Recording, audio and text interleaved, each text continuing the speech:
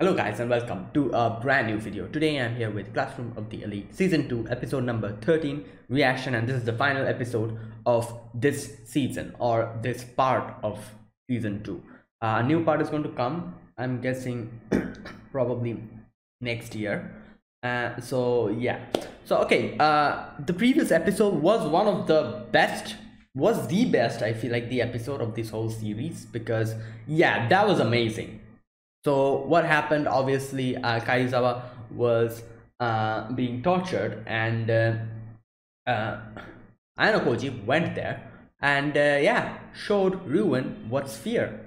And now the whole like you know thing which we saw, uh, it's interesting to see how Ryuen talks about how he has never felt fear, and uh, he talks about how what's like you know he might Ayano might win this time but uh, is not going to stop. He's going to continue harassing them day after day after day. And this is going to keep continuing.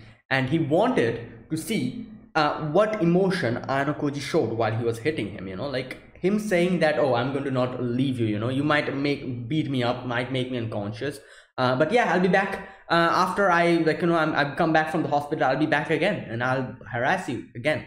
And uh, this was the most powerful thing that Ryuen had, you know, his hmm. not giving up attitude and him actually realizing that he won't be able to win this time but with persistency he will win. But seeing Ayano show no emotion to that struck him struck fear in him so much that he realized that he cannot do anything. Like i kind of thought about it. Like you know i, I was thinking like why like you know after seeing that he's no displaying no emotions why did he actually get so affected? I realize it now. Basically his persistency which was probably something that he realized like realized like oh if i keep harassing them keep doing this you know obviously Ayano will also show uh, fear or something like that. And there must be some kind of emotion that he's going to show. But even after saying that oh i'm not going to give up i'm going to come back which was like his trump card here you know his way of winning this whole thing his persistency even after showing that Ayano showed no emotion to that. He was like oh just another day you know? That type of attitude was something that made him fearful of the whole situation because he saw that he doesn't care. He realized that he might come back again and again and again but Ayano will, will just do the same thing over and over again. He will never stop. This is just nothing for him which probably is something that struck fear in him and yeah which is why he realized how how uh, you know like how how much of a disadvantage he's at and you know that's why i guess. And uh, yeah that's how he was defeated. And obviously in the end uh, we see Ayano kind of telling Karuizawa that it's okay you know that I'll be I'll help you out even in the future. And that's where it ended. All right let's see what happens today. This is episode 13 final part uh, final episode of this part. And I do wonder what they're going to do with this one and uh, with this episode like yeah let's see because Ryuen is defeated. I'm, I'm curious as to what ha will happen to Ryuen as well. Will he get punished or something? We'll see. Anyways uh, let's begin. This is episode number um 13 so yeah i'll be putting subtitles on the timer here. Sync it to whichever is your preference and let's get started. All right here's the countdown. Three two one go. The worst enemy you can meet will always be yourself all right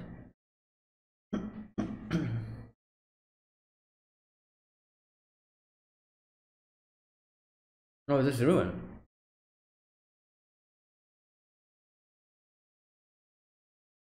Oh, it's a snake.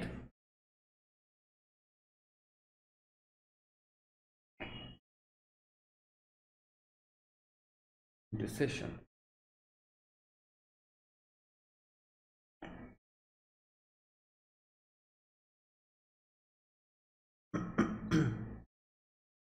okay. Wait, is this Ryuen's place? Oh yeah, okay. oh my god. Yep. Ah.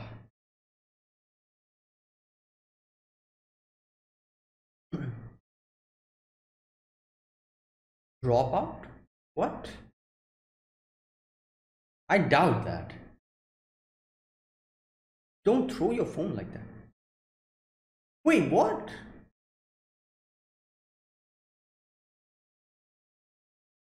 No.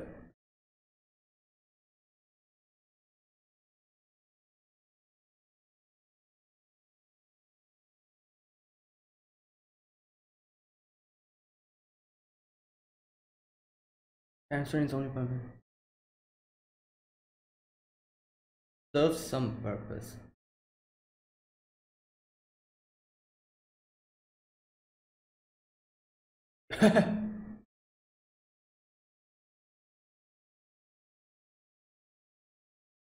oh my god, yo.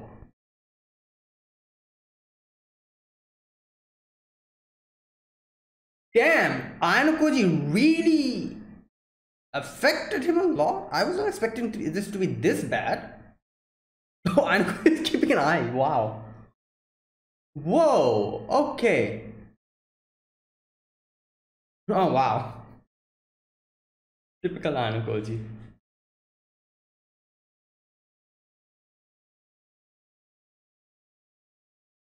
Koji. Hmm.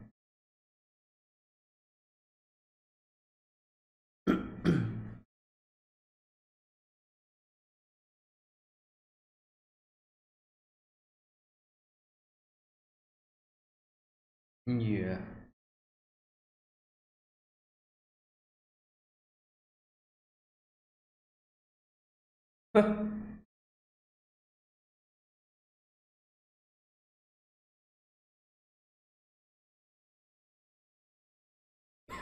Well, she's realizing that now. I guess she never really thought about it. Hmm. because up until now, her whole thing was I like he called she called him herself a parasite. So I guess up until now she was looking at the whole situation in that perspective because you know Ayanokoji is the one who is protecting her. So yeah, you know that was her point of view. And obviously, like she said, I have changed after that previous incident. So now her whole point of view has shifted a little bit and that's why she's probably realizing that she likes him yeah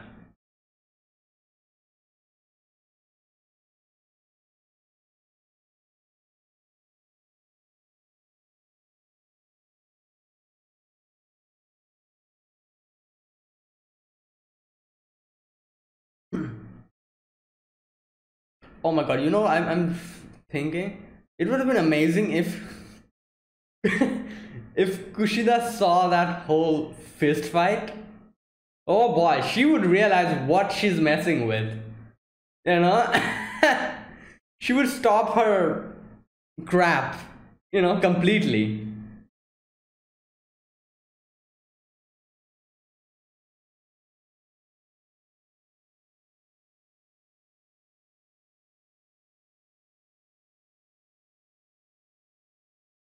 What?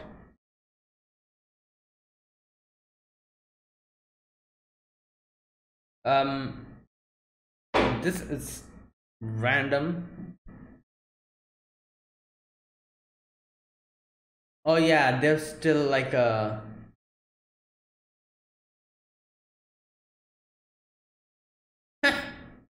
yeah, right.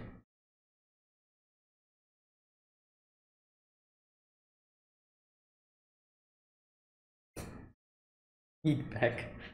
Oh boy. Grab lunch. Oh. What? What? Probably like a, like you know cherry blossom tree somewhere. 25th December. Oh.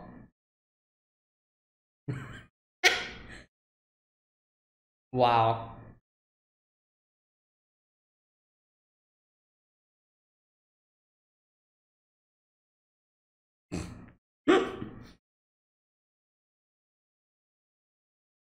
yeah.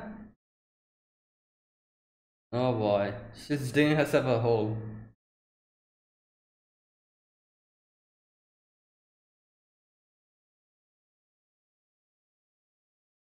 Uh.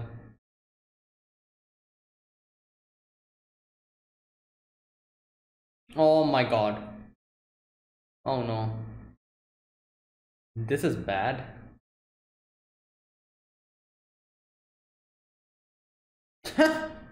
wow, this is this is a mess.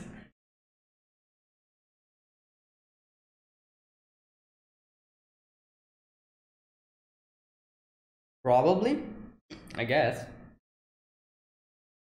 I doubt that.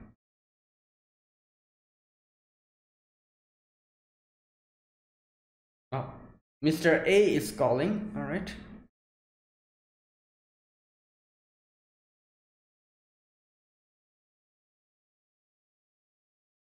Hmm. Okay.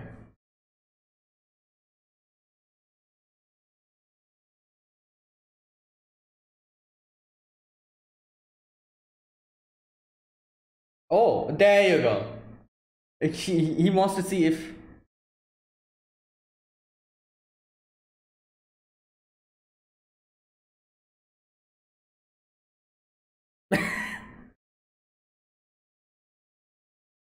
Oh wow, he's not even listening. He just hung up.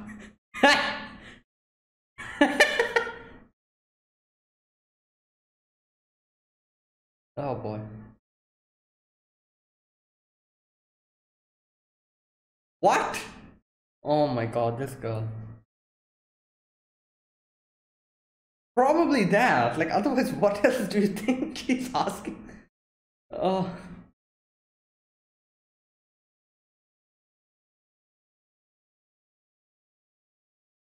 Oh.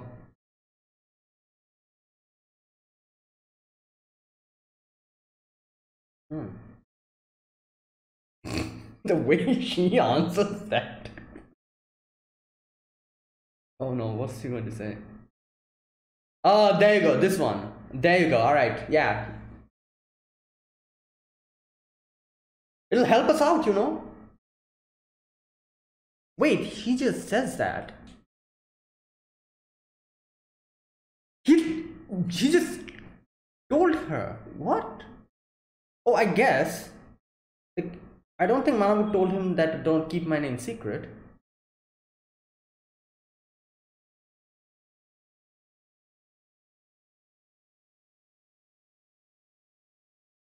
Uh,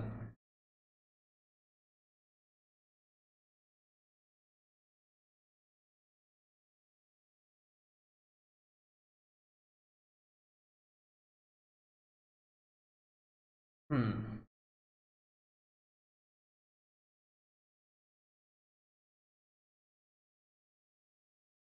So what did he say?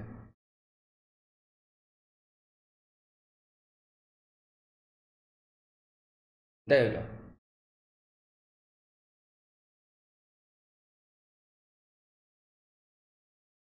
Nah, like I said, I think Manabu probably wants her to be better.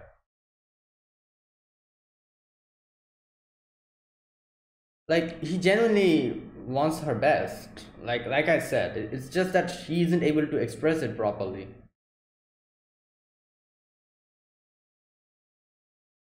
Oh my god.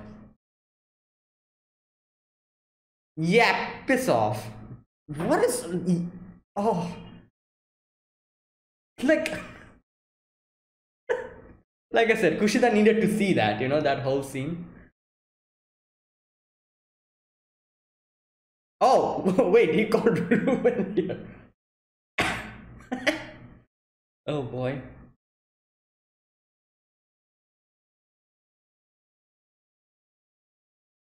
Sabotage of the secret. Part of the blame falls with her. Ah. Oh, that's how. Okay, okay. So he was gonna get expelled, I guess. nah.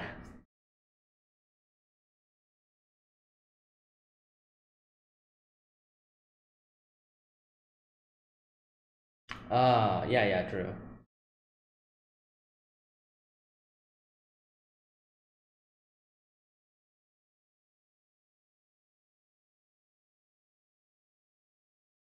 what?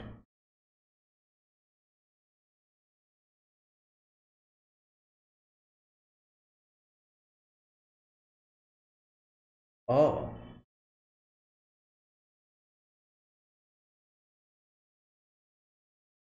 Click on that show before sir. whoa!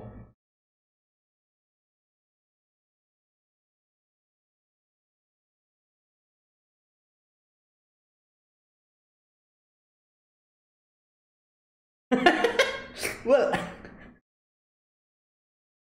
I don't know. Is that really why? I doubt that.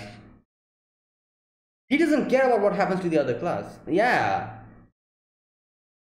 No.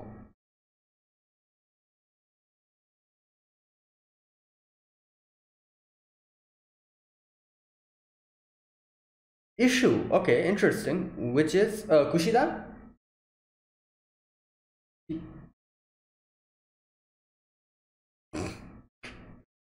Oh lord. Wait, Kushida's uh, first name is Kikyo, isn't it? I forgot about it. Have my.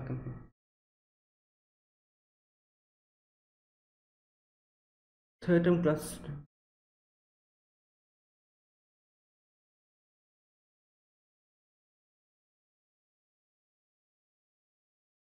Oh.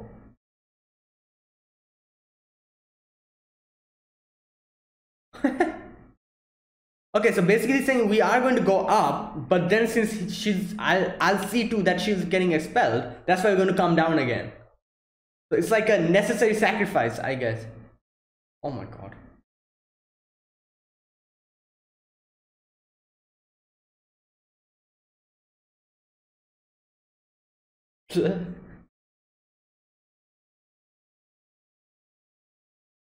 oh, is she waiting for Karuizawa? But Kaiser was supposed to come, wasn't it? Yeah, there you go. wow. This is awkward.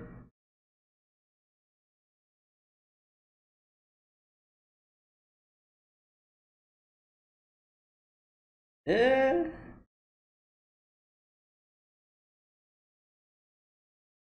Oh, yeah, yeah, yeah.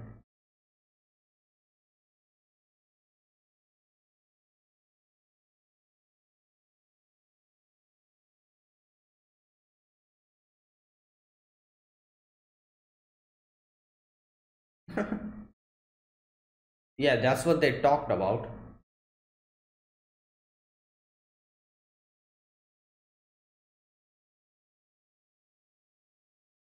Hmm.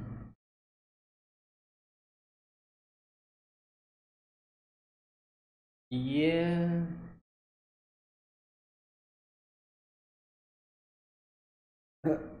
okay. all right.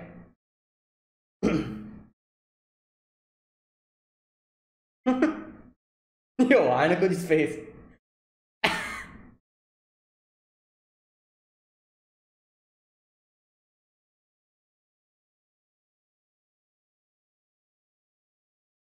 Wait she made reservations for four? Then yeah it was obviously.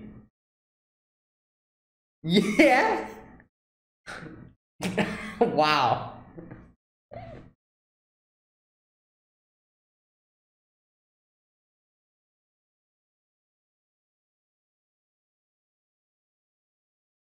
Hmm.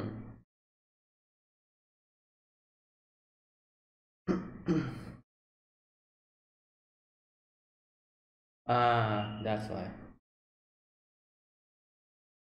Interesting. University?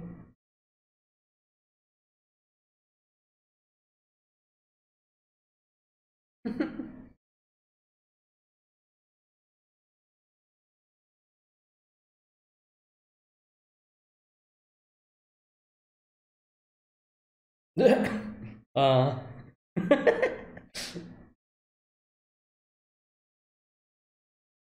oh boy.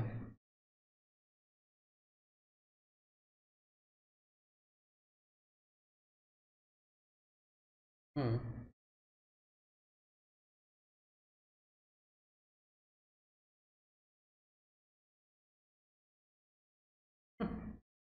Mm. Yeah, right.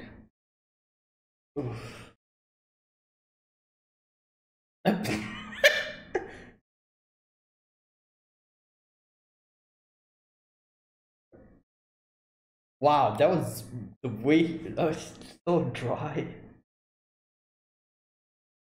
what if he answers like that? Well, that's him. That's just him. No problem. Mm, Yeah.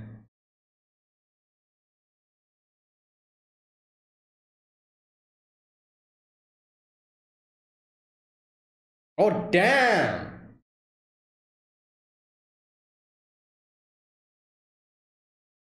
Wait, where's the tree? Where there's no tree here.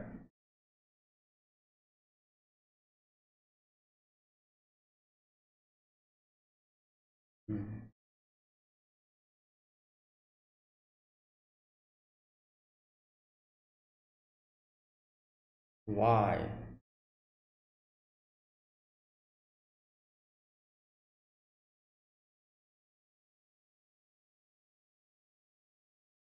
Okay. Well, yeah, that's. Hmm. Wow.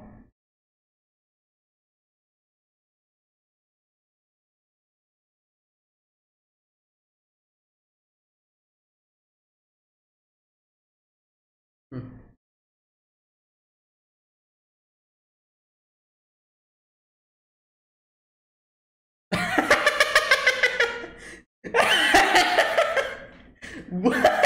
Okay, I was not expecting that. wow. Oh.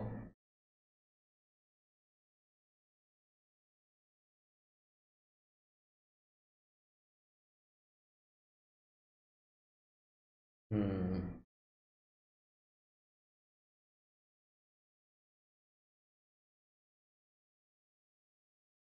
Interesting question. Okay.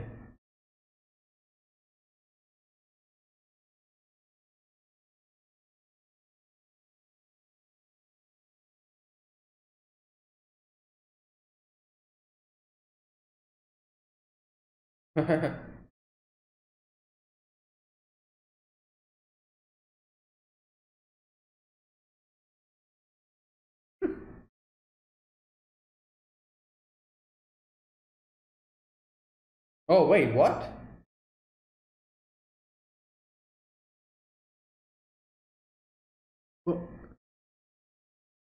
Oh.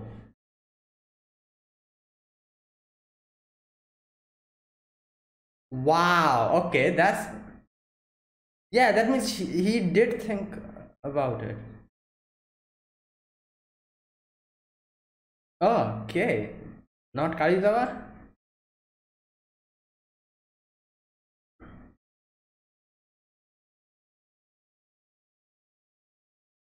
Will do. Oh my god. Well, obviously, what else was I thinking? Proposing an end to our arrangement. Delaying this. Yeah, oh boy.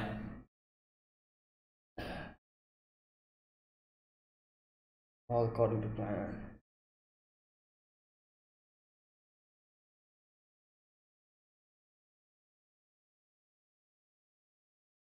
Hmm. Well,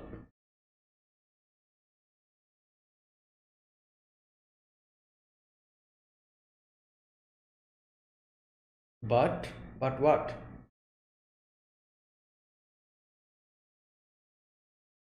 Yeah, I'm still in there.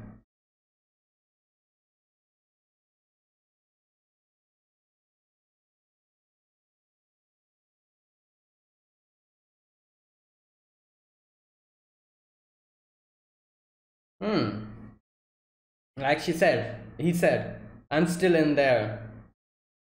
So, yeah. like, this is the thing. So, I guess you could say that I might, you might say like, you know, like, I'm pretty sure a lot of people will interpret this whole ending scene in a lot of different ways the most common way of interpreting this is like oh he's like you know he's still like that you know he he's thinking about oh will i ever be able to break out of this?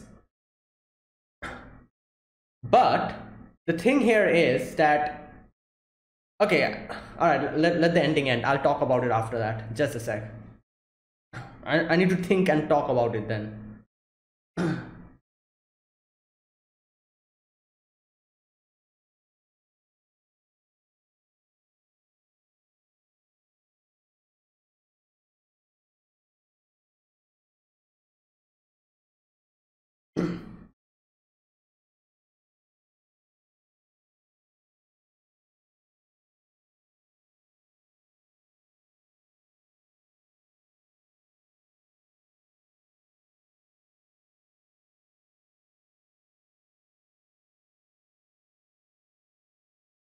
okay. Wait there's still something there.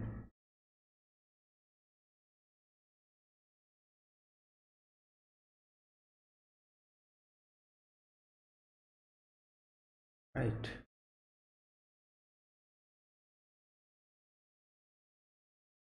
Okay who's that? Oh is that is that that girl arisu? No wait who? Oh yeah it is her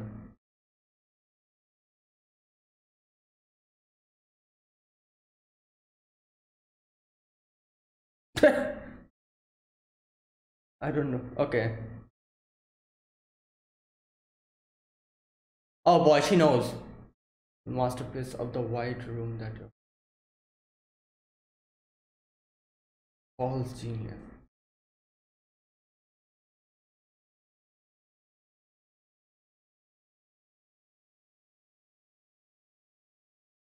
Oh wow, next third season. Alright okay this episode. So yeah like i was saying um like the final scene of the whole scene where uh, Ayano says that oh i'm still there. Uh, will i ever be able to come out? That scene. So that's i'm pretty sure like you know like obviously at first she was kind of, he was kind of showing his empathy towards Karuizawa saying like oh she's not suitable for being a replacement. And uh, you know then kind of saying like uh, giving her the medicine and then you know like walking with her and in the end thinking that yeah this will do for now. You know she's completely dependent on me and like you know trusts me won't betray me ever. So you know like he'll be she'll be an excellent pawn. And then this then after that she thinks of this that oh i'm still in there. Would i ever be able to come out of there? So like i said like a lot of people might interpret in a lot of way. One common interpretation i can see people talking about uh, this will talk about this scene is like oh he's still you know like he's still he doesn't he hasn't changed you know he's still like that. And uh, maybe in the future there is a chance of him changing. I would say no. He actually changed. Why i'm saying this is like you know a thing uh, like you know that thing which is like you know a, a, a mad person won't say that i'm like i won't I wonder if i'm mad or not like you know like that type of a thing. A person who's crazy or a person who's mad you know they won't won't ever think that oh i'm actually mad. They won't think ever ever think of that you know. A bad person a person who does bad things would never think that i'm doing a bad thing. Similar to that if Ayano was really that person still the person without any empathy and that he would never think that oh will i like you know ever be able to come out of there.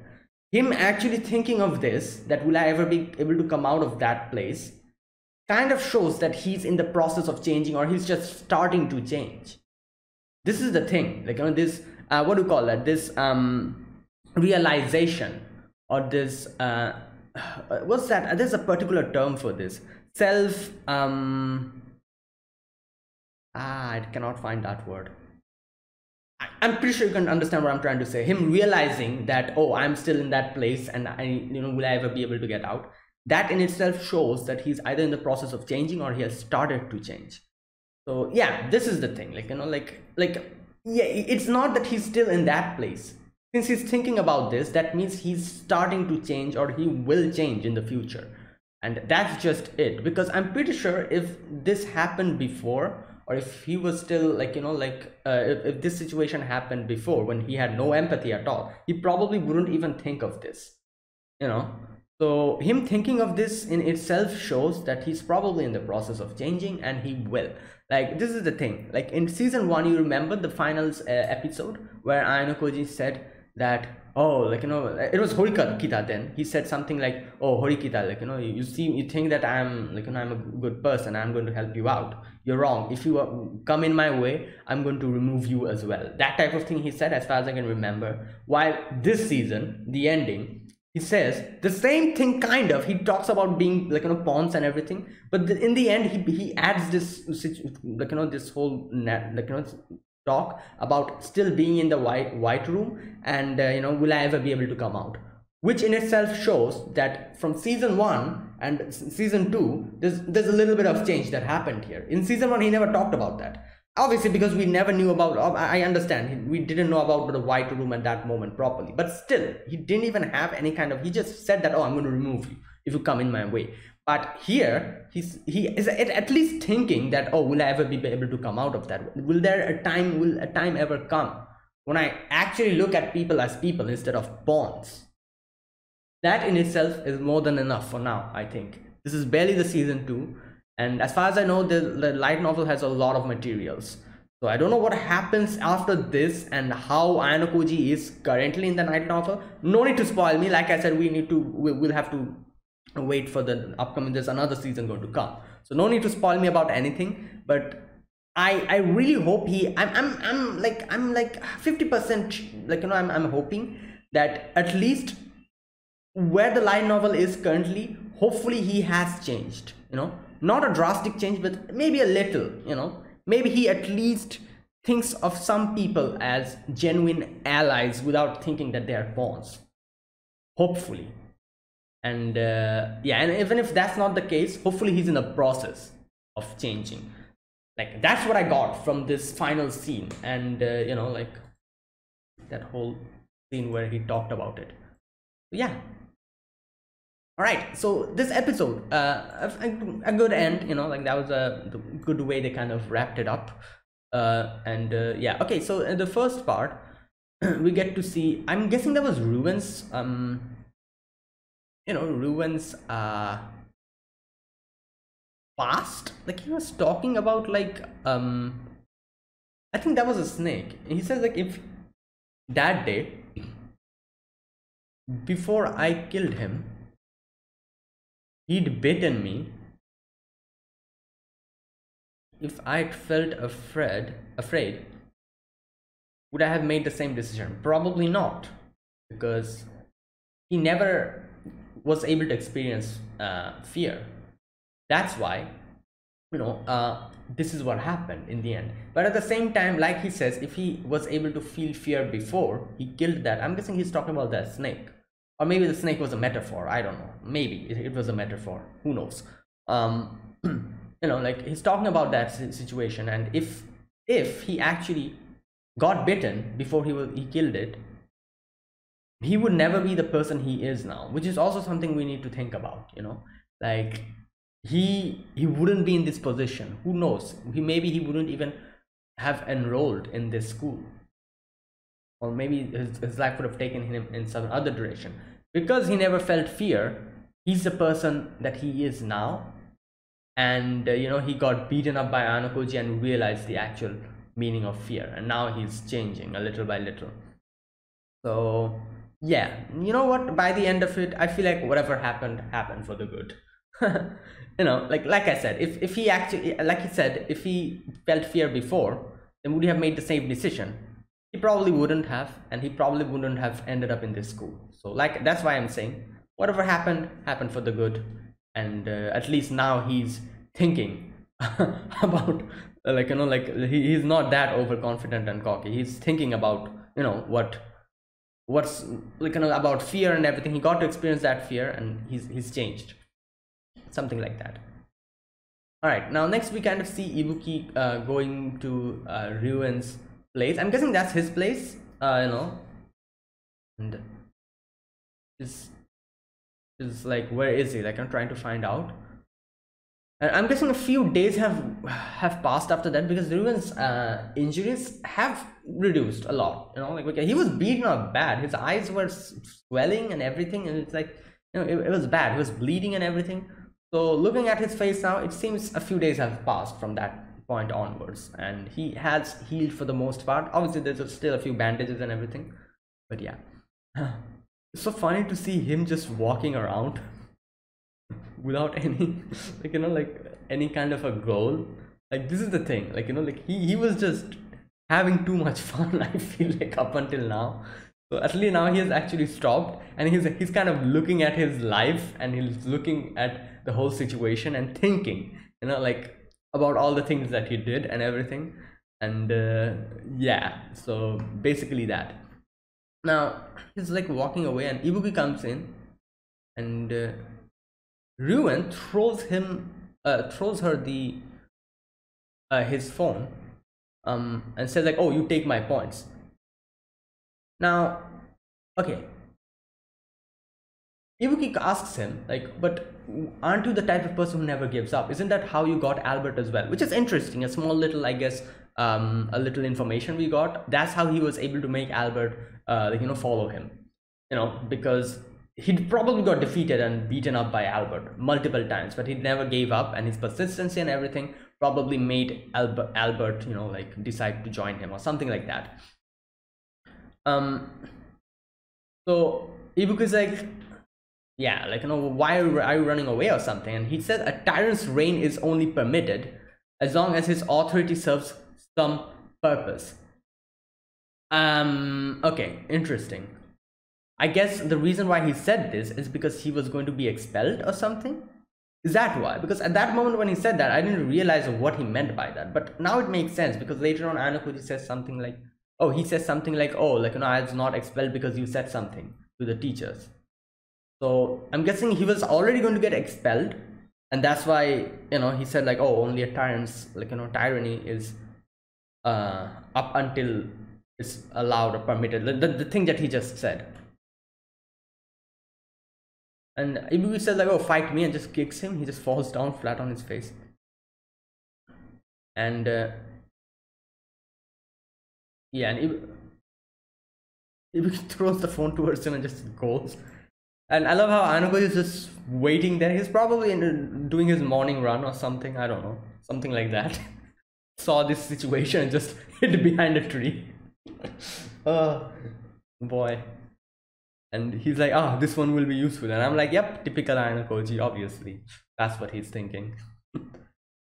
now, after that, we get to see Kei, uh, like, you know, waking up and thinking about the whole scene, saying, thinking like, oh, like, he, he's, like, you know, he's helped he helped me out yesterday he did a lot of bad things but still you know he's uh, like you know he's helping me out he's he'll he'll do that in the future as well and then she's thinking like oh do i like him or something which is kind of interesting because you know like i never realized this but i thought that he prob she probably had inklings to that she liked him she probably realized her feelings i thought up until now but it's interesting to see that she never realized it as realizing it now which again shows us a lot about her mental state up until now and how it has changed.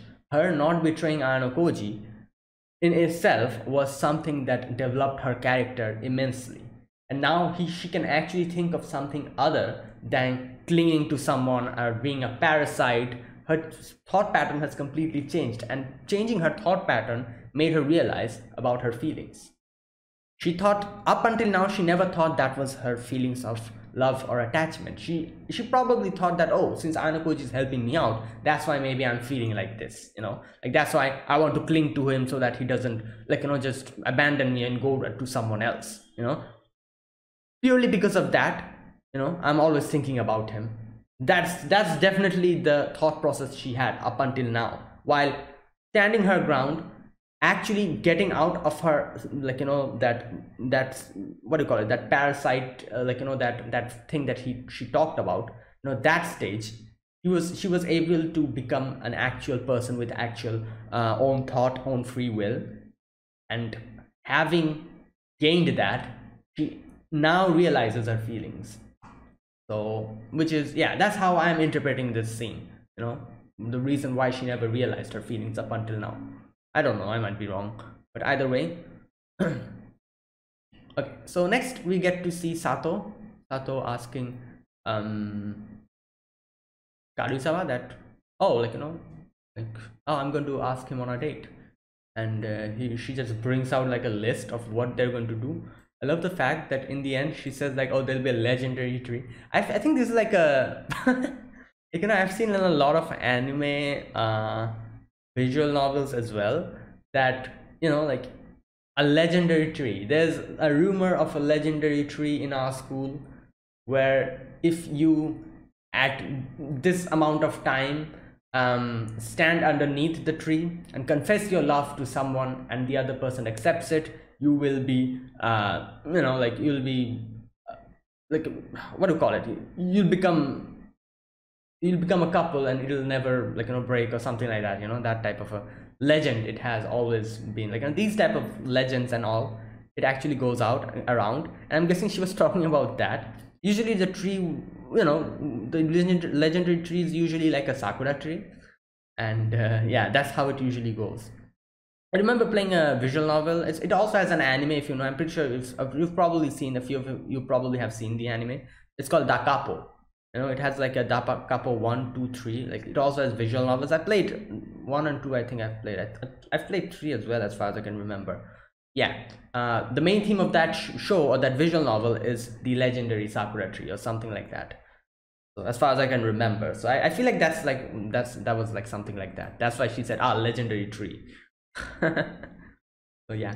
Anyways um okay so karuizawa is like oh it's okay you know like I'm, I'm going to i'm going to hook you up with some good plan and everything like you know no problem i'm going to help you out. But obviously in his in her head he she's like oh my god why? And she's like like her whole plan is crazy. She's she's made the date plan in december 25th and everything. And uh, you know like then she suddenly says like oh like you know i'm, I'm actually really jealous about you and uh, hirata. So you know what? Why don't you two come as well? Let, let's make this a double date. I was like my god this is not going as i wanted to. Because obviously that'll be extremely awkward because you know like Karuizawa knows the whole situation Ayanokoji knows the whole situation and you know like like it's, it's, it's a really messy situation. I feel like the only one who will be in the dark in this situation is sato. Because hirata also kind of knows partially what's going on and the whole scene you know? So yeah. Like poor girl. She's the only one who was in the dark never knew about what the hell is going on. And obviously Ayanokoji accepted the date because he wanted to figure out who, what this girl is and probably wanted to just directly say that no know like i'm, I'm not ready for it like he said and then after that as well uh, and after that he also wanted to figure out probably that if she can be used as a pawn you know now Karuizawa is like you know, at her home she's thinking about you know all that stuff and Mr. A calls him which Ayanokoji. I love how even the name is A, so that no one can like you know see what like you know if suddenly if, if the phone call comes in and someone looks at your screen, they'll realize it's called Ayanokoji. And they'll be like, "What Ayanokoji is calling you?" Obviously, that'll give everything away. So that's why it's written A. wow, that's crazy. Oh boy.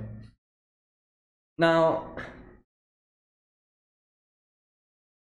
okay so Ayanokoji is like oh I wanted to look into something obviously K is K is like what the hell like you said that you're not going to ask me anything then she's like all right what do you want to know?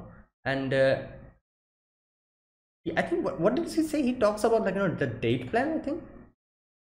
Just a sec. Oh uh, about Sato. Um I want to know who she hangs out with what she does in a normal day. If possible i like to know her personality hobbies personal preference. Okay all that stuff. She's telling him he's telling her. And uh, you know he's like yeah that's what you should figure out. And it's so funny that Karuizawa was like oh is he is he asking me all of this because he wants to actually date her or something? I'm like you think Ayanokoji is going to do that? Even if he intends to date someone do you think he's going to call you and ask you to research on that person and tell him? That'll be extremely weird i feel like you know like no i don't think anyone does i don't know. At least not Ayanokoji. Like, you know, even if he decided to, like, you know, go out with someone, no he's not going to say tell you to do that. I'm like what? But obviously like you know she is now she realizes her own feelings so she's probably paranoid now. And also in the end she also does say that oh or maybe he just wants to make her his pawn or something like that so yeah that was he she also thought about that. But you know like the other part of her heart says that oh maybe not. You know her the the part of the heart that is kind of concerned and paranoid about the situation of thinking like oh maybe Ayano actually likes her or something.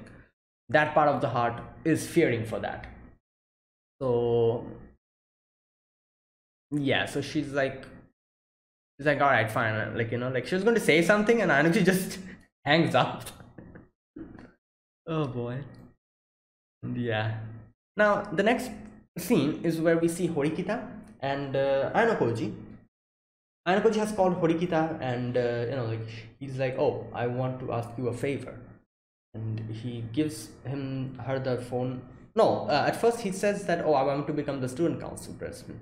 And I was thinking he's not going to mention Manabu's name but then he's like, oh, Manabu wants you to become the president. Obviously, Horikita is extremely surprised. Horikita is like, what? My brother told you, to make convince me to, to get into the student council?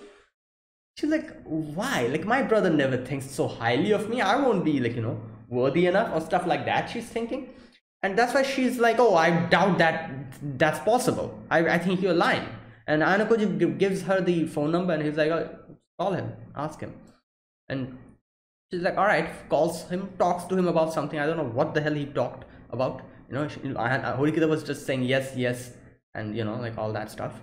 And in the end he's she after like you know ending the phone call she says that um okay. He said joining would be to my benefit. And uh, but I can't see what good joining the student council would do to me.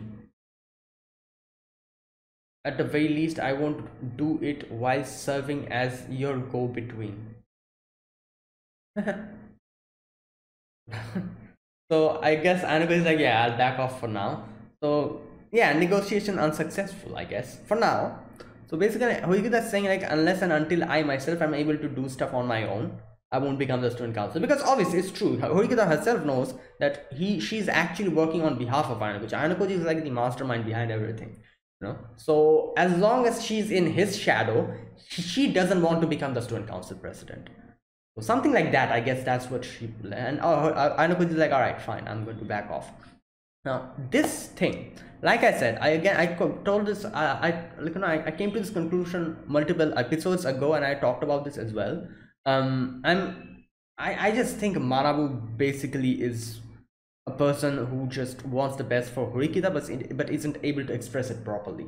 Just like a few other brothers we have seen in a few other animes like you know bleach um black clover you know they they they act so badly with their like you know just mistreats their siblings and then in the end we get to get to see that they're actually concerned about them which is like a weird thing obviously like i know the whole like i can I, yeah like that like the whole thing in bleach and black clover never really sit, sit sat well with me at all. Like especially in bleach because i guess i can see a black clover like you know nozel and noel situation. I can kind of understand why he did that but the, the whole bleach situation where you know spoiler here obviously everyone knows about this i'm pretty sure where Byakuya decided to just um you know like just sacrifice rukia for you know like whatever all those reasons. I'm not going to go details into it. Just because you know like of her wife's you know all that stuff. So that and later on we, we realizing that he actually is concerned about rukia. Like you know like at the same degree. Was actually didn't sit well with me. I'm like yeah he, she was going to die. Like what what would you do after that but either way i feel like it's obviously it's not in that extent but i feel like this situation here is also something like that. I might be completely wrong though. Who knows? Maybe manabu has some other plan.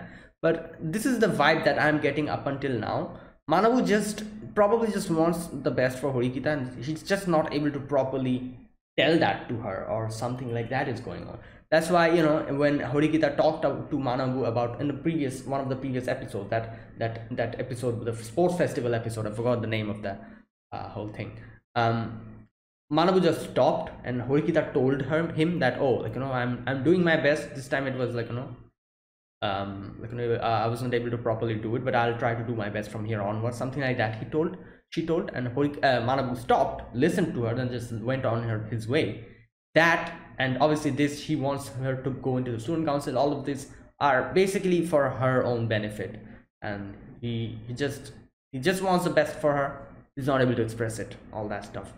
But just a guess like i said i don't know. Maybe manabu has some other plan. Maybe he has some other reasons why he wants horikita to go into the student council. Either way and suddenly kushida comes in like uh, just a sudden appearance. She's like ah merry christmas and then just shows her like you know that disgusted face. All right. Okay next scene. Ayanokoji has called in Ryuen and uh, here okay i need to read this part. Um Ryuen says the sabotage of the security cameras in the second gym building um part of the blame falls with us. Apparently class d put in that claim that means I get to stay. All right. I'm kind of interested in how Ayanokoji made this possible. Like he says the class deep said that, you know, which probably means Horikita was the one. Like I'm guessing Ayanokoji told Horikita to do that, and Horikita did that. I do wonder what Horikita told everyone else to convince them to actually say this. You know, like because obviously you need to convince the other class members as well that oh we're going to give out this statement, so you know uh, we all should accept it even if Horikita herself decided to say it and no one actually agreed with it, they won't be able to give that statement. And obviously Ryuen is involved in this, so I'm pretty sure a lot of people are pissed off at Ryuen, so I'm, I'm pretty sure a lot of people would actually decide not to give out this statement. Because, you know, Ryuen's getting expelled, so everyone will be like, ah, good riddance. But I'm, I'm really extremely curious as to how was Horikita, how did Horikita made it possible? Because I'm pretty sure Ayano told Horikita to say this and Horikita actually brought this up with the class and everyone decided to actually give this statement. This statement of we're also collectively responsible for the gym security camera. You know, that, that statement. How was Horikita able to convince them? I'm genuinely curious about it. But either way, this somehow was were able to do it and brought that up to the teachers and obviously that's why the whole like you know like Ryuen is not getting expelled because they also shared responsibility with her and there you go. And I know uh, Ryuen's like are you the one who arranged that? And she's like oh you are going to drop out because of the cameras. Question mark. And uh, i figured it was a Karuizawa's thing. And uh, here Ryuen says if i'd done that ishizaki and the others would be expelled as well which is true because everyone else was involved in this. And that would be a lousy way for a leader to take responsibility. Yeah because we didn't want anyone else to get mixed up in this whole nonsense that he pulled off. So okay. And he says and regarding the gym i have an addendum. Okay addendum. It was a wise decision Ryuen had you been alone you could have still hung in there and fought me.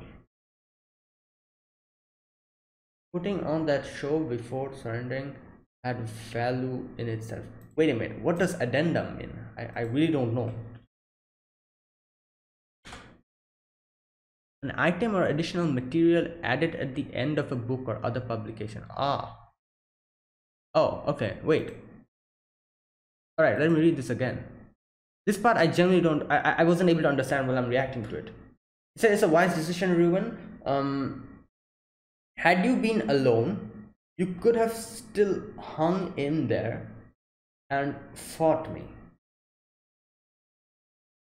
Putting on that show before surrendering had value in itself. I thought looking down on others was my Wait, is Ayanokoji actually... Oh my god. Uh, Ayanokoji says here that, oh, if you were alone, you probably could have been able to, you know, like, hang, hang on to this whole thing. Uh, like, you know, like, he says something like, you gave me a show no what just a sec oh putting on the show before surrendering had value he's saying that you put on a show before you surrendered. So is he saying telling Ryuen that that oh you, you could have you know you could have probably won this if you were alone? So you, you, that show that you put before surrendering in itself has a value. So is he trying to like you know like like obviously both of them knows what happened there Ryuen definitely knows that either even if the, he, he was alone he would have surrendered by the end. So Ayanokoji is saying that oh if you were alone it, it would have been probably different. You would have probably been able to keep yourself you know like um, like you know uh, you wouldn't have surrendered uh, since there are other people and you know like you put on that show and surrendered you know. Good job that that has value in itself. So is he trying to like you know like just making up like a false scenario and telling that to Ryuen to just you know to keep his ego afloat like that type of a thing is, is that what he's trying to do here? Because i'm like you know yeah definitely both of them knows what happened there. I'm pretty sure ruin also realizes that even if he was alone and even if like you know there was like an army with him not army never mind that you know like even if there was a lot of other people with him um he would he still would have lost. So even though both of them knows that Ayanokoji telling this to him is like his way of saying that oh you might have won. And that's why Ryuen says like oh just looking down on everyone. Because you know like this is Ayanokoji's way of like you know saying that oh you know what? You fought well. You might have won if the circumstances were different. While both of them knows that in, in no way he would have won. So saying that the winner saying that to someone else you know like and Ryuen says like oh are you looking down on me? Is that what you do to everyone? Okay let me read that part where he says like i thought looking down on others was my job but i'm retired now. Yeah i think that's what happened. So basically in in in, in uh, correct me if i'm wrong because this is how i am interpreting this whole scene. Um let's take a simpler example uh let's let there be two like you know like two person who are like you know on a track field you know they're racing. And uh, one person is extremely talented. He would have won in any like you know like in either way. While there's another person who you know uh, who lost. Both the person knows the difference in power the difference in talents. And still the person who won who's he comes to him and says that oh you fell down in the middle of the road um, if that didn't happen you probably would have been able to give me give me a better you know fight. You, maybe you would have won as well you know? Good job. Both of them knows that's impossible you know? Like their talent was so like you know there's a, such a big difference between the talent that in no way that would have been possible. Still the person who won is saying that to that person. It, it's a similar thing happening here you know? If i'm able to explain properly because that's how i'm seeing this thing because Ayanokoji telling that oh since you were alone you know like uh, and you gave me that show before surrendering you know no, Ryuen never would have been able to do anything to Ayanokoji, even if he was alone or something else. So he's just giving him like a thing like, oh, you did well, you know, you maybe you would have been able to do it. Which is why Ryuen says that, oh, looking down on others, I thought that was my thing. I'm retired now. I don't know, like this is how I interpret this this this small little scene. Correct me if I'm wrong. I think that's what basically happened here. So basically Ayanokoji is saying that, oh, yeah you might have won if circumstances were different so yeah something like that he's, he's just he's just you know just what do you call it just consoling him yeah that's the word consoling him that's the proper word that i want to wanted to use i was not i wasn't able to find that particular word out consoling him. He's just consoling him. Is that what he's doing? Here let me know. Because i think that's what happened here. This the way they kind of word this here is a little bit difficult to interpret and understand i feel like. Anyways um so Ryuen says like oh so how do you plan to use me now? And uh, he's like ah what are you saying? What plan?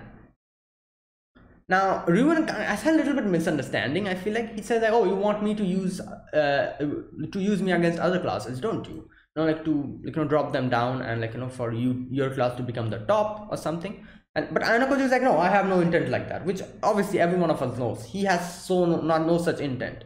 And he says like if my class wants to become class A they can do it. I'm not going to say anything. But my me myself I have no plans on actually actively doing it. Mm, so here, uh, says, but there is a problem that class D has, which I need to take care of and which I will take care of. Obviously, that problem being Kushida, and Ryuen also realizes that. Ryuen says, like, what do you want to do? to compare her to a cancer makes sense. Obviously, that's what she is, you know. Like, if you keep it at bay for a time, it, it affects the other cells, and you know, like that's what happens. That's that's basically cancer, and she's she's basically that. So you should take it out as soon as possible. So he says, what do you want to do? And here Ayanokoji makes a prediction. In third term, class D will ascend to class C, but it will likely fall back to class D because I'm going to have Kushida Kikyo expelled. Okay, one thing I'm extremely curious about. This is one thing I don't think they've ever, ever told, or maybe they told us, I don't remember how what's going to happen when they graduate from class 1 to class to the next class will the classes class a b c e be the same or will the individual people according to uh, individual students in them according to the credits and whatnot will they actually change classes like for example a lot of people like for example like let's let there be 50 people from 50 students from class d and 50 uh, students from class C. Maybe uh, 20 students from class D actually get shifted to class C while you know like um, maybe 10 students from class C remain in class C while the rest of the um, 10 uh, no the, the 10 more students from class A comes to class C and 10 students from class B comes to class C. While in class A, class B and class D, similar thing happens. Are the students going to get mixed up based on their merit, their uh, credits? Is that what's going to happen? And will there be like a new class that is formed with new students? You know, like that'll be class C, but the students will be different. There'll be a few people from class D, few people from class B, few people from class A, Similarly to that, class A will also have the same thing, where there will be a few people from class A, few from B, few from like, is that how it's going to happen? Or are they going to move up the class according to their group? Like class C will be class C, class D will be class D. That's how they're going to move up. And you know, like, and if they if they are able to win and like you know, uh, if they are able to you know go from class D, if it is able to become class C, then class C will go to class D's position. Like, is that how it's going to, is it like a collective thing or are they going to get scattered when they change classes? This is one thing that I'm, I'm curious about, which I'm pretty sure we'll get to see when they graduate from this class to the next class. We'll, we'll probably get our answer there. But yeah, this is one thing that I've been curious about. Anyway, so basically what Ayanokoji is saying here is like, we are going to be to, and this is a prediction I'm making, we're going to go to class C, but then we're again going to come to class D back again because Kushida is going to Kushida is going to get expelled. I'm guessing this probably will like incur a penalty where you know from class C they'll have to probably come back to class D. You know because yeah, what member from your class is getting expelled. Is that why? Then maybe maybe the the way Ayanokoji is going to do it is going to result in them coming back from class C to class D again. Like you know their rank will be dropped again. Who knows? But he just made a prediction here. Everyone is like, oh, you're terrible to your core, aren't you? Right. Now after that, uh, the day to day is here. Sato is here, everyone's here. Sato's just, oh, have you been waiting? And Anaku's like, nah, I just got here. and uh, Hirata Kushida is here. I love how, you know, the, the like, you know, Kushida was holding, like, you know, Hirata's, what do you call it, the, the, the hand. And when they come and stand in front of Ayanokoji, and Ayanokoji is looking at her he leaves. He leaves hand. Oh. Anyways. Now okay so it's so funny like they they act as if they had no plan on meeting and they had no plan like they, they, they talked about it before like they're going to make this a double date and everything was ready you know so you know the uh, sato and uh, uh, what's her name uh, I, Karuizawa, yeah. Karuizawa suddenly said, oh, why not make this like a double thing, date thing? Hirata doesn't know what the hell is going on. He's like, oh, no, we shouldn't disturb them. And uh, Sato's like, no, it's okay, you know. Obviously, because they already made a plan. And uh, Ainako's like, yeah, if you want to, then yeah, I won't object. And then there's a little montage of them doing stuff, you know, like, like oh boy like they bring popcorn like you know they're like watching the movie anakoji with her his same just stoic face just looking at it uh, and then Karuizawa just peeking behind what the hell is going on okay. So after that montage they go to the diner place and they're like oh we have reservation for like you know four of you. And Anakoji is like four? Like didn't you like you know what? And Carissa was like, he says impressive insight. uh, Carissa was like, I had her alter the reservation for us before we got here. Yeah, right. Like we would believe that. Oh boy. And yeah, Okay, so here they're kind of sitting down and talking, and uh, Anakoji asks Sato like, "What do you do in your free time?" And she says like, "Oh, I just like you know make stuff, fashion and stuff like that." And uh, you know like, then the whole question asks like what they're going to do after they graduate and everything, and uh, Anakoji is like, "Oh, I'm going to go to university," and uh, and Karuizawa kind of sounds like you know like looks sad a little bit probably because you know like he, he, he she realizes what's going on. She realizes that you know because she knows that Anugi just looks at her as a tool but she herself likes him. And you know like the fact that you know like maybe she will the the thought process that oh maybe I'll never be able to express my feelings to him that probably made her sad. Anyways um they kind of talk about few stuff over there and yeah the date is over they say goodbye to each other and uh, yeah. Now obviously now hirata and uh, karuizawa obviously they they they know what's going on you know like they both of them they're not dating they know that and you know the karuizawa just as a as an act does this. So i'm pretty sure like you know they, they were on their way and karuizawa probably told hirata that okay you like you know like they cannot see us now. You know like i'm i'm splitting up i'm going somewhere else you know and they said goodbye to each other and karuizawa just made an u-turn i'm pretty sure started following them and then like just behind a bush just sat down keeping an eye on them oh i was not expecting her actually to be sitting behind that bush really like you know i was not expecting that okay so Now they were kind of walking, and here suddenly Sato says something like, "Anakoji, you did you not have fun today?" Now this part I'll read it again because there's a few interesting things that he says here. He says that like, "Oh, I, I cannot laugh. I usually don't laugh," and he says like, "It's not that I can't smile, but I've judged you unworthy of smiling for." I'm really curious. Like, you know, yeah, we've never seen Anakoji laugh. So he says that you're not worthy enough to, like, you know, for me to laugh, and you're gonna show my inner feelings. So maybe in the may, like you know, since he says that, which means maybe in the future, if he actually is able to change his whole perspective on seeing other people as pawn and genuinely finds a person, a friend, good friend, or someone else, maybe he will actually laugh. And I'm like or smile. I'm curious about that if that'll happen in the future. Probably. Because these all these little things that we saw in this episode these were i'm pretty sure these are like all plot points or triggers that they kind of planted in this episode which will later on in the future a day will come. Mm, i don't know maybe in season 4 season 5 something if this continues a day will come when something like that will happen and we'll think of this episode today and think like oh he said that this today's episode and now we are actually seeing it. A lot of things she he, a lot of like you know points that he made in this episode i'm pretty sure we'll get to actually see that in future seasons. I don't know it, it just that's how i feel like they kind of made this episode.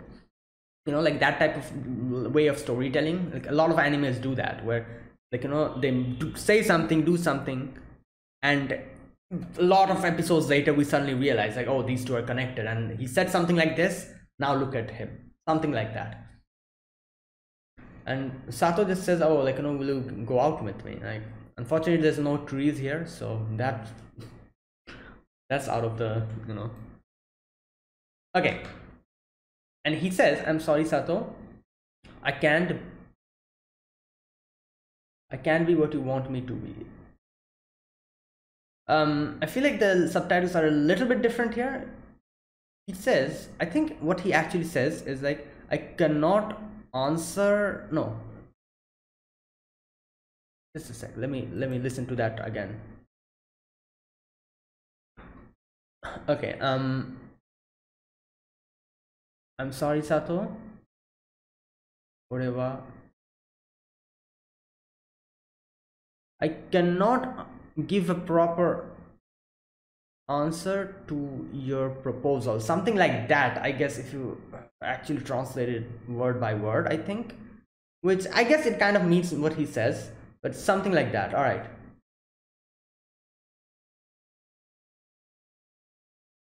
Okay um it starts snowing and she asks like can you tell me why not? Now this part again is quite interesting what he says i can be a boyfriend if i don't feel affection to you. Okay? Um obviously she realizes like yeah he, he doesn't like him her. And he says like i've never felt romantic feelings for anyone. Okay? Um i don't think i'm this is an interesting thing he says. I don't think i'm mature enough to fall in love which is so interesting. Like he says i'm not mature enough for love which shows that his you know his personality and everything has been repressed probably because of the white room. And he himself realizes that you know like like different people go through a different like a lot of like you know we see stuff and we learn from the we, we gain our feelings our emotions and everything. A lot of environmental and like know, external things kind of you know like make us who we are as we grow up. And that's how we have our own personality gain our own emotions. The way we see the world changes according to how we are like you know, how we grow up and what we see outside you know in our surroundings. So obviously Ayano Koji unable to experience that you know he he has not properly developed. He's just that one person who like you know all he can think is like you know making people look looks like people as pawns always fighting and all like you know like probably in a very like you know dangerous environment he was brought up in. That white house uh, white room i don't know what the hell that is but it's probably a lot of things happened. They were probably made to fight amongst each other and because we saw a lot of students you know over there a lot of people uh, little children over there. So Ayano Koji was also one of them. Maybe they fought against each other or something like it's like an experiment that they did i guess and uh, like you know he's he was the top out of all of them as in the end Arisu says. So there you go. That's why you know like the way he was brought up was like that. So all he like i said people grow up looking at the surroundings. That was Ayano Koji's surrounding. Kill or be killed you know like just just make use of people make it use them use as pawn i'm pretty sure he probably like you know like made use of a lot of students like you know children over there. And just whenever they lost like you know lost everything like you know just threw them away and just used them for his own benefit to survive or something like that happened. So that's how he was like you know he, he was brought up and that's how he knows. That's how he sees the world. And suddenly he decided to run away and decided to come to this school. So this school is the first time he's seeing the outside world coming into contact with normal people with different people that is why he says that i'm not mature enough for love because yeah he's really not mature enough for gaining those feelings. So this is a very interesting thing. So basically he himself realizes that and he himself knows how abnormal his situation was and he knows that he he, he has still doesn't have any. Those type of feelings he's not gained. Obviously this kind of shows that maybe in the future he'll gain them because he's interacting with people outside know this is one of the biggest i feel like um, indications that in the future Ayano there a day will come when Ayano will actually see other people as people, not as pawns, because his childhood was like this. So obviously he is like this. That is the reason why. You know? Now that he's coming in contact with the surroundings, like I said, people grow and people change according to, his, to their surroundings. And now since he's coming like you know in contact with a normal surrounding with normal people and everything even though this class in itself uh, schools in itself is not as normal you know still still they're a lot more normal than what Ayano went through i'm pretty sure. So maybe interacting with so many people and everything not maybe i'm pretty sure he is going to change little by little by coming in contact with them. Like this is he's going to learn more from his surroundings from this point onwards. And in the future a day will come when maybe he will look at other people as people now Sato goes, you know, runs back. And I love how Ayanokoji's like, oh, come out. You know, I can see you there. Karuizawa's there. And Karuizawa's like, oh, why did you, like, you know, reject her? And he says, like, he's unsuitable substitute for you. and, uh, and he's, she says, like, at first she blushes and she realizes what he actually meant. she, she asks, like, do you see everyone as a tool or what? you know and he's like and what if i do? You've never really felt genuine affection for anyone have you? Um not so far. Yeah not so far which means like i said in the future maybe. Okay so after that uh Kaiser stands up and she's like oh like i brought you a present. There you go.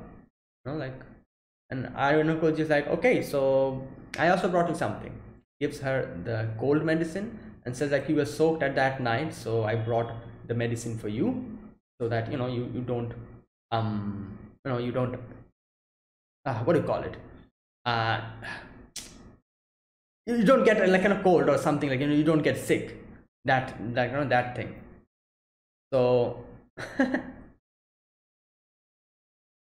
so funny. Here i was like oh my god and is actually you know um paying attention to that.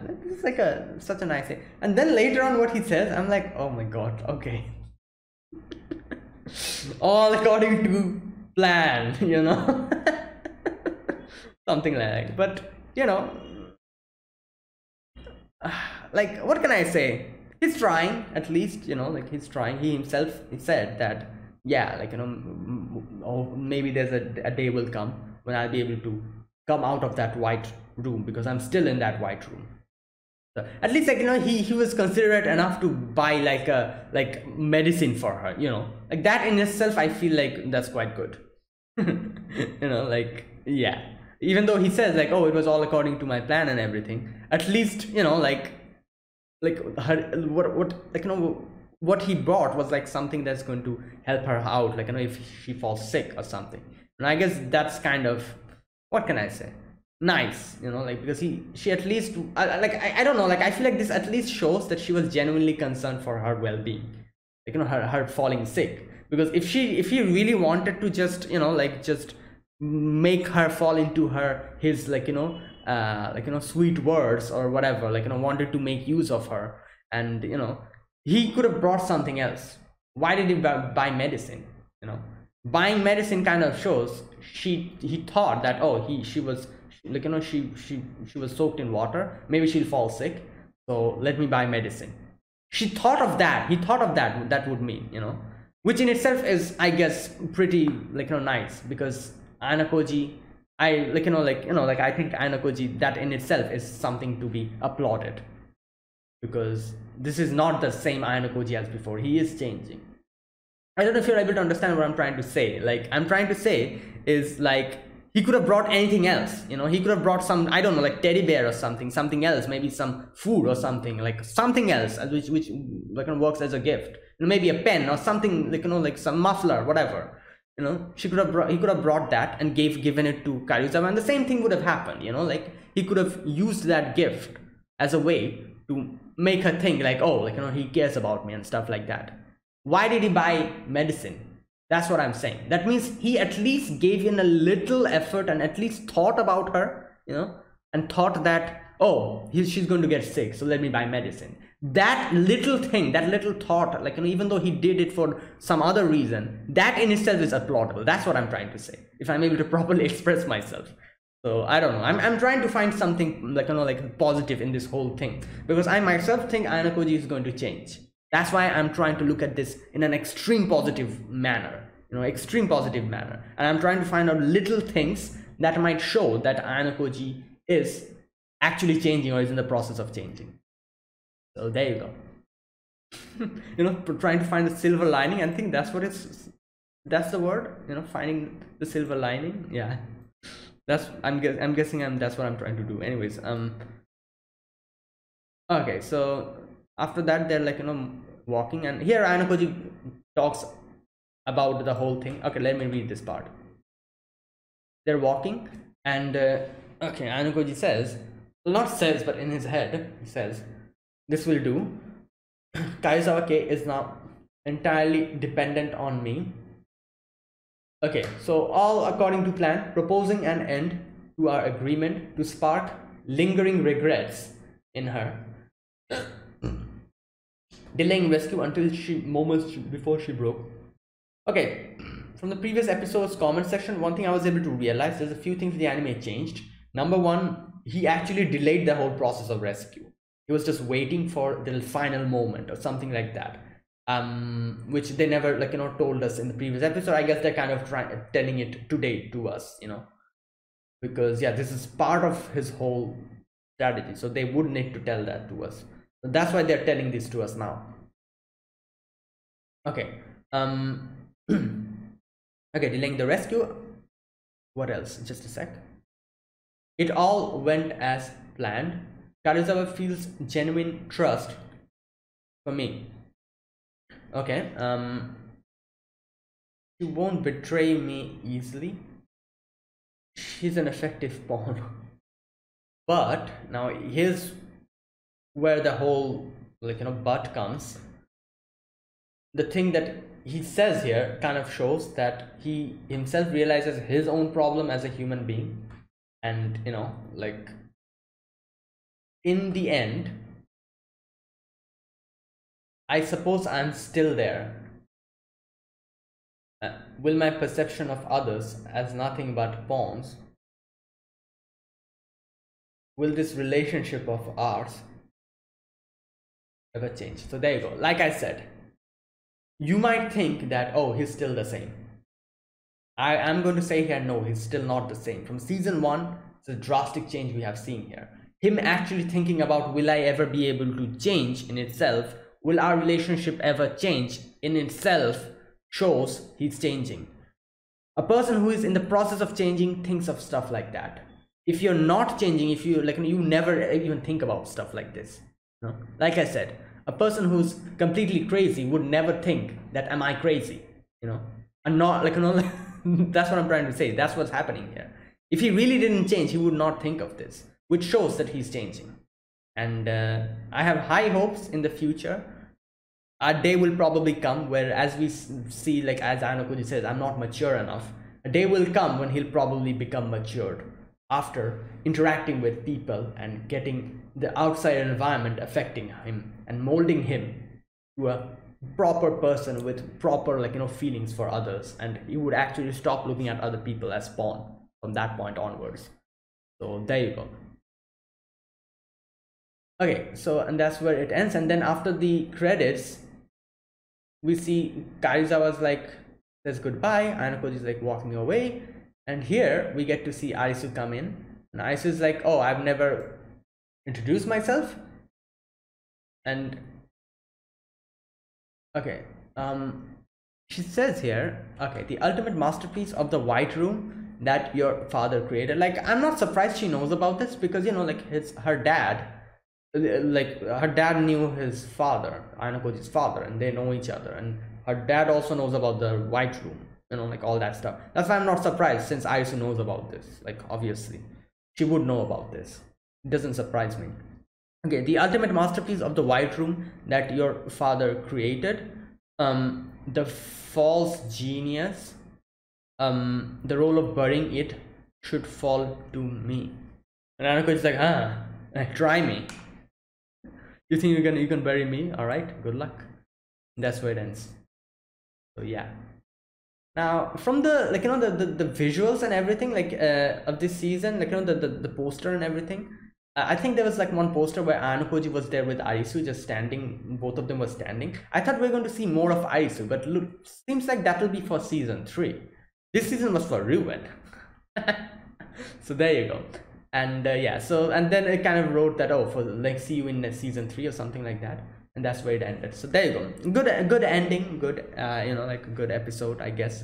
Good way they ended it.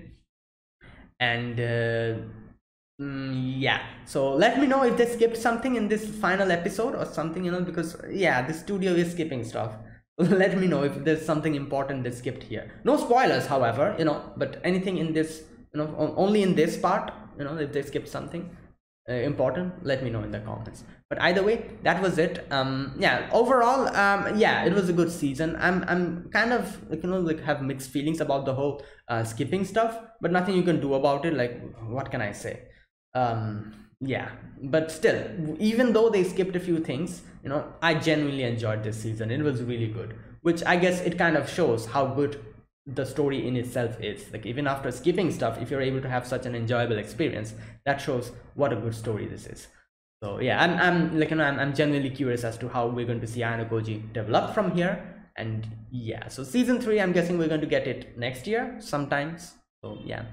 All right so there you go. Uh, that was it. Uh, thanks for watching guys. This was my reaction to uh, classroom of the elite season 2 episode number 13 or was it 13 yeah episode number 13 so if you guys enjoyed this video be sure to press the like button subscribe. If you're new to the channel or you haven't subscribed comment down below anything you want to say anything you want to let me know and i'll check them out. And that is it guys.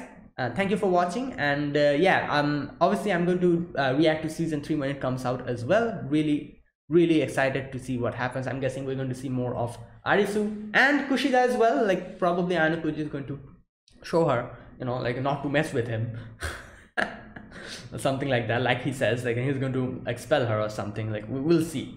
Uh, so something like that is going to happen i'm guessing. So i'm kind of curious how horikita is going to because horikita doesn't want kushida to get expelled. So maybe they'll have like a uh, like you know like a you know like difference in opinion Ayano and Horikita and that'll be interesting to see.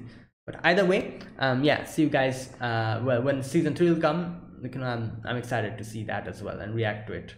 So hopefully it comes soon yeah uh so thanks for watching. Obviously this will be replaced by another show another seasonal anime. Um i'll be i have already made like a video talking about like the, the next season and all that. I'll, I'll post that video later on somewhere uh within this week sometimes. And uh, you know like if you want to check that out you, you can see which shows which seasonal shows the next season i'm going to watch and uh, yeah I, I feel like everyone can probably guess which i'm watching but there's a lot of big big shows coming out and obviously those i'm definitely going to watch. So those will be replacing these shows. Anyways so yeah see you guys in the next video. Until then goodbye and have a nice day